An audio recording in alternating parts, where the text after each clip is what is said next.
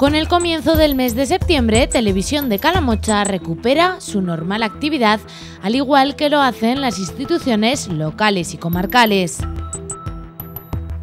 La vigésimo sexta muestra de folclore internacional de Teruel elegía Calamocha como escenario para dos de sus actuaciones. Un grupo folclórico de Kenia y otro venido desde México amenizaron la tarde-noche del pasado sábado.